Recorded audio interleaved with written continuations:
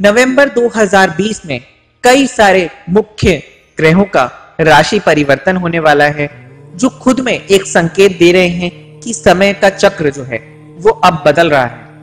और इसका जो प्रभाव है, वो आपकी राशि पर कैसा रहने वाला है? चाहे वो आपकी इनकम की बात हो, चाहे वो आपकी जॉब की बात हो, आपके भाग्य की बात हो, आपका स्वास्थ्य कैसा रहेगा? बच्चों की पढ़ाई पर इसका क्या असर रहेगा? प्रेमी प्रेमिकाओं के बीच में जो रिलेशन हैं, उन पर इसका क्या असर होगा? बिज़नेस पार्टनर के साथ रिलेशंस कैसे रहेंगे? और अंत में, आपके लिए एक ऐसा उपाय जिससे आप नवंबर 2020 का भरपूर लाभ उठा सकें। इन सभी चीज़ों की आज हम इस राशिफल के प्रोग्राम में चर्चा करेंगे। उम्मीद है आप हमारे साथ अंत तक इस प्रोग्राम में बने रहेंगे। और हमें कमेंट्स और लाइक्स के माध्यम से बताएँगे कि हमारा ये जो राशिफल है ये आपके लिए कितना सटीक बैठा है। ज्ञान गंगा ज्ञान गंगा। जय शनिदेव। बात कर लेते हैं इस महीने के ग्रह गोचर की यानी ग्रहों की आसमान में स्थिति की। तो यहाँ पर काल पुरुष की अगर हम कुंडली देखें तो उसमें सबसे पहले हमें दिखाई देगा कि पहले भाव में चंद्रमा विराजमान है महीने की शुरुआत में, जो हर ढाई दिन में गोचर करते करते अपने राशि का परिवर्तन करते रहते हैं। उसके बाद अगर हम दूसरे भाव की ओर देखें, जो कि वृषभ राशि का भाव है, उसमें राहु देवता का वास है, जो कि करीब डेढ़ साल तक इसी भाव में निवास करने वाले। अब अगर हम तीसरे भाव की बात करें तो वहाँ पर हम देखेंगे कि कोई भी ग्रह विराजमान नहीं है। चौथे और पाँचवें भाव का भी यही हाल है। इसके बाद हमें छठे भाव में शुक्र देवता अपनी नीच अवस्था में कन्या राशि में विराजमान दिखाई देंगे, जो कि 17 नवंबर को रात्रि एक बजकर पंद्रह मिनट पर अपना राशि परिवर्तन करेंगे और तुला राशि में प्रवेश कर जाएँगे। इसके साथ साथ हमें सातवें भाव में अगर हम देखें तो वहाँ पर हमें दो ग्रह दिखाई दे रहे हैं, जिसमें अगर मैं सबसे पहले सूर्य देवता की बात करूँ तो सूर्य देवता 16 नवंबर रात्रि दो बजकर चालीस मिनट तक इसी भाव में विराजमान है, यानी कि तुला राशि में ही विराजमान है, जो उनकी नीच अवस्था है, जिसके बाद वो वृश्चिक राशि में प्रवेश कर जाएँगे। अगर मैं उनके साथ साथ बुद्ध देवता की बात करूँ तो बुद्ध देवता तीन नवंबर तक वक्री अवस्था में है और तीन नवंबर को ही छह बजकर पचास मिनट शाम के समय पर वो तुला राशि में मार्गी, यानी कि प्रोग्रेसिव अवस्था में आ जाएँगे। इसके बाद वो 28 नवंबर को अष्टम भाव में प्रवेश कर जाएँगे, जो कि वृश्चिक राशि का भाव है। अब इसके बाद अगर हम अष्टम भाव की बात करें तो वहाँ पर हमें दिखाई देगा कि केतु देवता करीब डेढ़ साल से इसी भाव में विराजमान है। अभी काफ़ी लंबे समय तक इसी भाव में विराजमान रहेंगे। उनकी अवस्था वक्री है। राहु और केतु।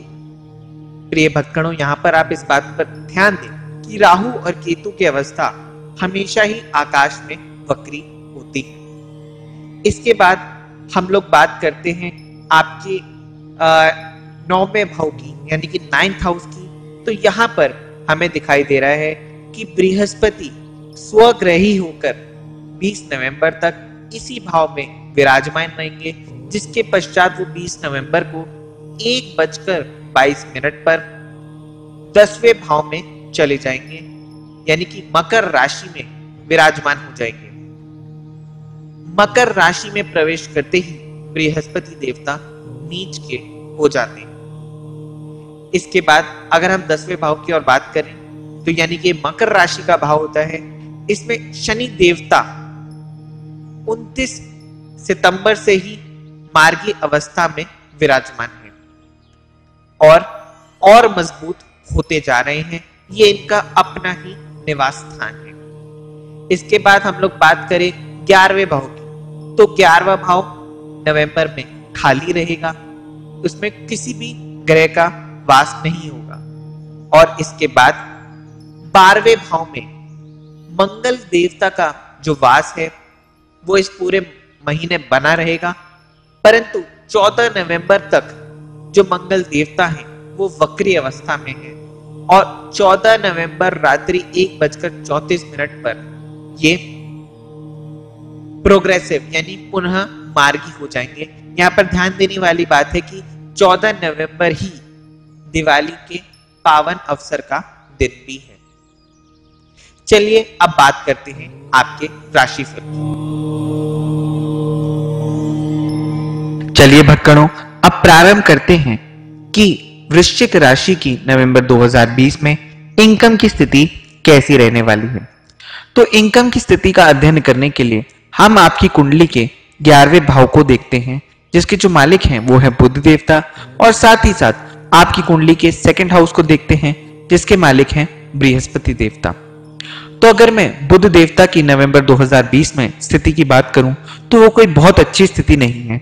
वो आपके खर्चों के भाव में, यानी कि ट्वेल्थ हाउस में विराजमान है, जहाँ पर ये वो दर्शा रहे हैं कि जो भी आप पैसा कमा रहे हैं, वो कहीं ना कहीं आपके पास रुक नहीं पा रहा है।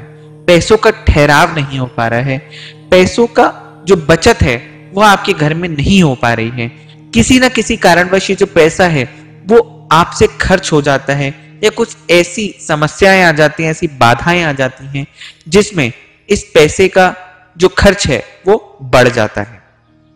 कहीं ना कहीं लक्ष्मी का स्थिर ना हो पाना आपके लिए एक चिंता का विषय बन रहा है, जिसकी वजह से आपकी जो मानसिक चिंता है, वो भी नवंबर 2020 में बढ़ रही है।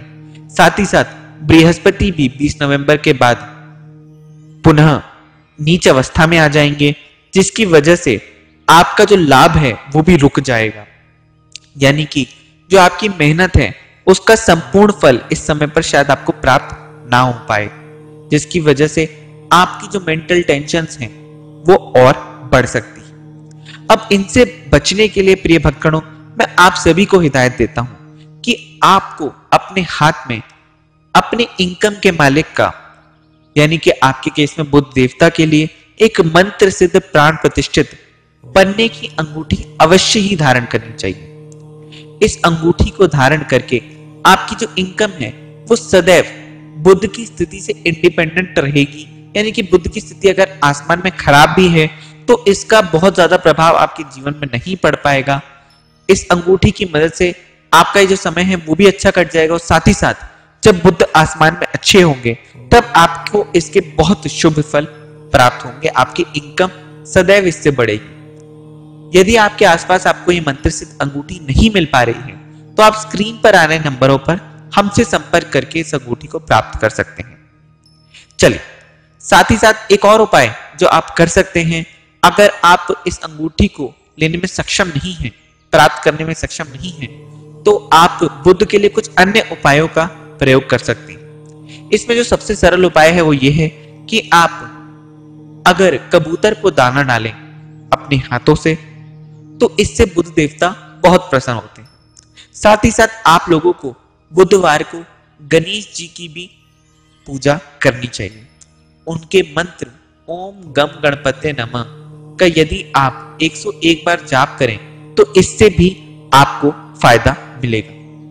साथ ही साथ आप बुद्ध देवता को प्रसन्न करने के लिए अपने घर में कुआरी कन्याओं को निमंत्रण देकर उनकी सेवा सत्कार करें, उनको भोजन कराएँ।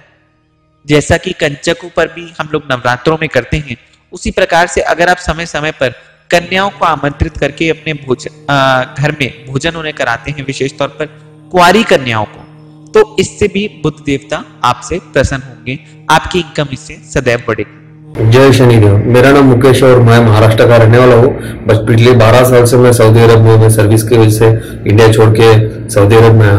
और मैंने यहाँ से आने के बाद पाँच छह साल पहले लगभग मैंने बिज़नेस ओपन किया, फिर मुझे बिज़नेस में करोड़ों रुपए का नुकसान हुआ और मैं कर्जे में चला गया। फिर मेरे मिसिस ने दो साल पहले माता जी का नंबर भेजा, फिर मैंने माता जी से कांटेक्ट किया।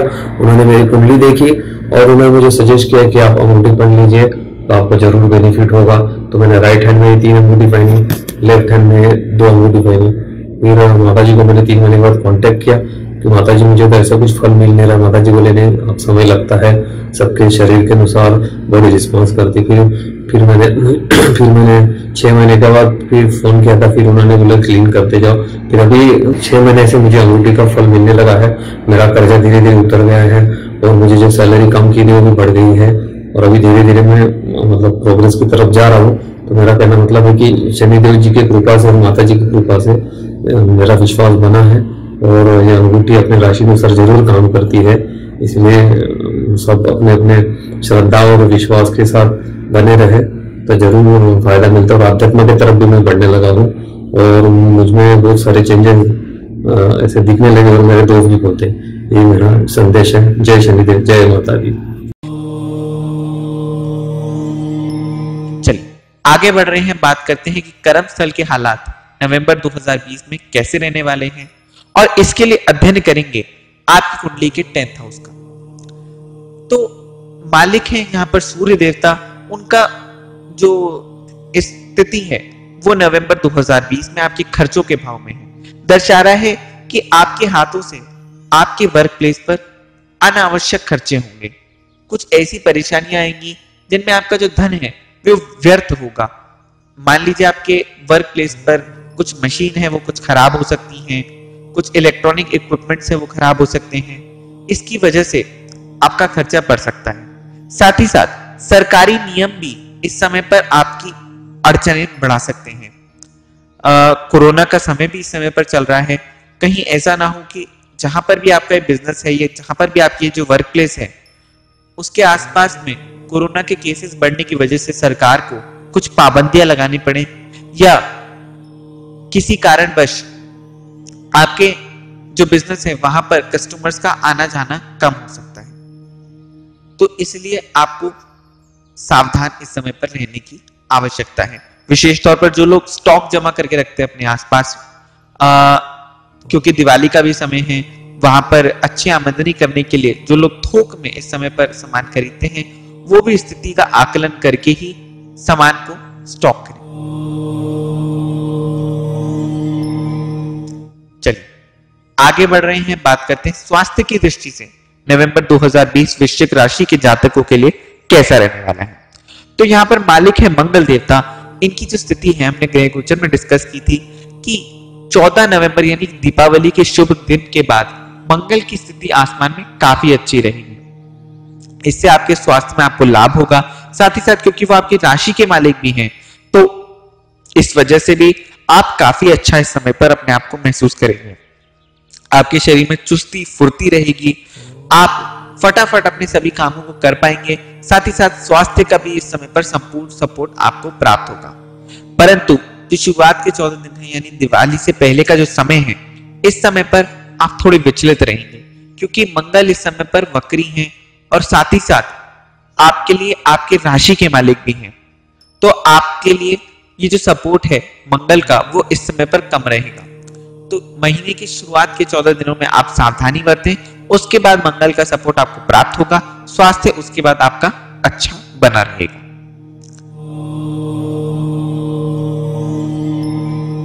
चलिए, आगे बढ़ रहे हैं। बात करते हैं कि लाइफ पार्टनर के साथ कैसे रिलेशंस रहने वाले हैं। नवंबर 2020 में। इसके लिए हम लोग चर्चा करते हैं आपकी कुंडली के सप्तम भाव की। सप्तम भाव के लिए आपके लिए जो मालिक हैं, वो है शुक्र देवता साथ ही साथ आपकी कुंडली के हम फिफ्थ हाउस को देखेंगे, जो कि लव मैटर्स को कंट्रोल करता है, प्रेमी प्रेमिकाओं के बीच के संबंधों को कंट्रोल करता है। मालिक है बृहस्पति देवता। अब अगर हम शुक्र की स्थिति का अध्ययन करें नवंबर 2020 में कोई बहुत अच्छी स्थिति नहीं है शुक्र देवता की आपके लिए विशेष तौर पर। क्योंकि पहले तो वो नीच अवस्था में 17 नवंबर तक आपके इनकम के भाव में विराजमान है। ये दर्शा रहा है कि लाइफ पार्टनर के जो सलाह है, उन पर अमल करना कहीं ना कहीं आपके इनकम के द्वार को रोक सकता है, बंद कर सकता है। तो इस समय पर यदि आपका लाइफ पार्टनर आपको कुछ सलाह दे रहा है तो आप उस पर बहुत सोच समझने के बाद ही अमल करें कहीं उससे आपका नुकसान ना हो जाए। बाद में जब शुक्र देवता विराजमान हो जाएँगे आपके लिए आपके ट्वेल्थ हाउस में तब आपके लाइफ पार्टनर पर आपके जो खर्चे हैं वो बढ़ जाएँगे। कहीं ना कहीं आ, उनका जो स्वास्थ्य है वो शायद उन्हें परेशान कर सकता है जिसकी वजह से आपकी भागा दौड़ी भी बढ़ सकती है।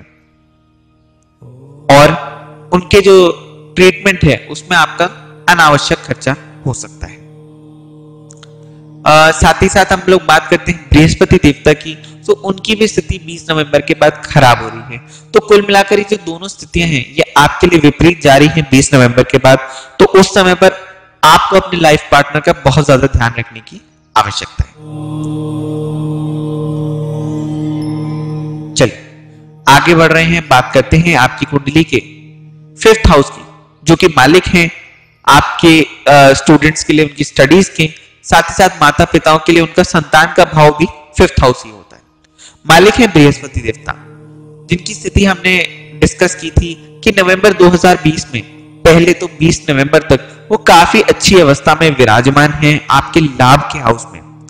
यानी कि आपको फ़ायदा पहुँचा रहे हैं। तो यानी आपकी स्टडीज़ इस समय पर आपको काफ़ी बेनिफिट कर रही हैं आपकी पढ़ाई के आ, का जो सीधा सीधा असर है जो सीधा सीधा फ़ायदा है आपको देखने को इस समय पर मिल रहा है जो आपकी इनकम में वृद्धि कर रहा है, या किसी ना किसी प्रकार से आपको लाभ पहुँचा रहा है। ये एक और जो स्थिति है, वो दर्शा रहा है कि माता पिता के लिए उनके जो बच्चे हैं, कुछ ऐसा कर दिखाएँगे जिससे उनकी जो छाती है, गर्व से चौड़ी हो जाए, जिससे वो अच्छा महसूस करें। स्टूडेंट्स का इस समय पर काफ़ी जो मन है, अपनी पढ़ाई में लगा रहेगा, वो जी जान से, मेहनत से, लगन से अपनी पढ़ाई पर फोकस कर पाएँगे, जो वो हासिल करना चाहते हैं। वो उसे हासिल कर पाएँगे। वो जो टारगेट्स वो सेट करेंगे, उन्हें वो समय पर या समय से पहले अचीव कर लेंगे, जिससे वो नए सब्जेक्ट्स पर या उनके जो कमज़ोर एरिया हैं, उस पर वर्क कर सकते हैं। इस महीने पर अपने कमज़ोर विषयों पर मेहनत करने से आपको अच्छा फ़ायदा प्राप्त होगा। चलिए, अब बात करते हैं आपकी कुंडली के फोर्थ हाउस की। जो कि आपके लिए कंट्रोल करता है, आपकी माता जी को, आपके वाहन को और आपके मकान को। मालिक है यहाँ पर शनि देवता। वो आपकी कुंडली में तृतीय भाव में स्वग्रही होकर विराजमान है, आपको आशीर्वाद दे रहे हैं। तो इस समय पर माता जी के साथ आपके बहुत अच्छे संबंध बने रहेंगे। आपके बीच में जो प्रेम प्यार है वो काफ़ी बढ़ेगा। आप उनकी रिस्पेक्ट करेंगे, जिससे आपकी माता जी आपसे काफ़ी प्रसन्न रहेंगी। अगर उनका स्वास्थ्य कुछ खराब भी रह रहा था पहले तो उनके स्वास्थ्य में भी सुधार होगा और आपकी जो चिंताएँ हैं अपनी माता जी को लेकर, वो दूर होंगी। साथ ही साथ कई लोग ये प्लान बनाते हैं कि दीपावली पर हम अपने घर के लिए कुछ नई परचेजेस करें। विशेष तौर पर लोग नया वाहन लेने के लिए भी दीपावली का जो पावन पर्व है, उसको चुनते हैं, उसके आसपास के अच्छे समय को देखते हैं। तो आपके लिए समय जो है, वो शुभ बना हुआ है। इस प्रकार की कोई भी डिसीज़न आप लेना चाहते हैं, यदि कोई नया वाहन आप खरीदना चाहते हैं तो समय इसके आपको सपोर्ट कर रहा है। आप ज़रूर खरीद सकते हैं।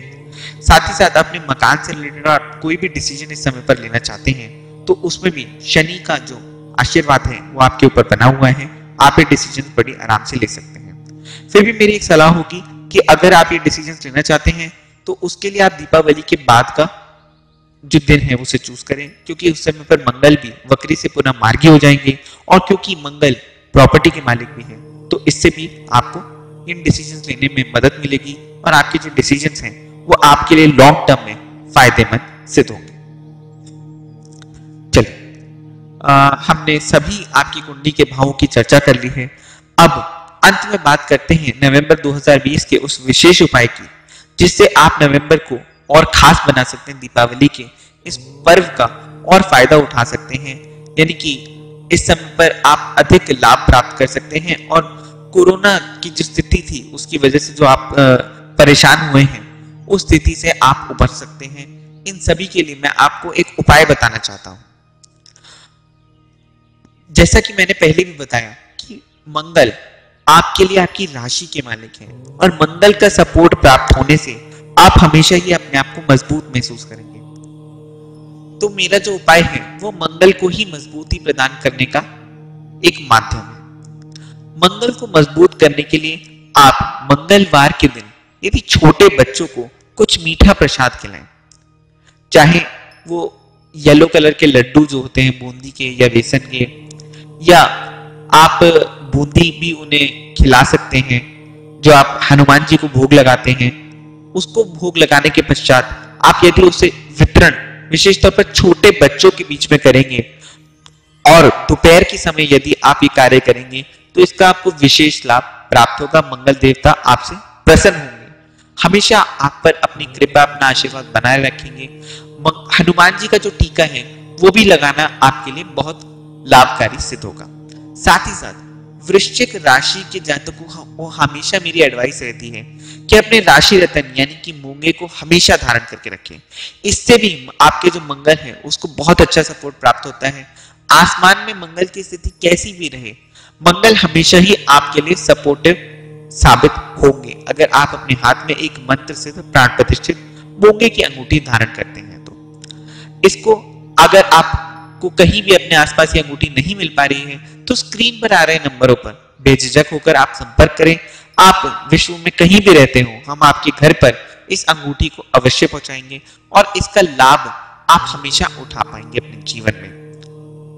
ये अंगूठिया गुरु रजनी शशि जी स्वयं मंत्र सिद्ध प्राण प्रतिष्ठित करते हैं और हमारे भक्तगण जो कि पूरी दुनिया में फैले हुए हैं, वो इन अंगूठियों को पहनकर अपने रोज़मर्रा के जीवन को बेहतर बना रहे हैं।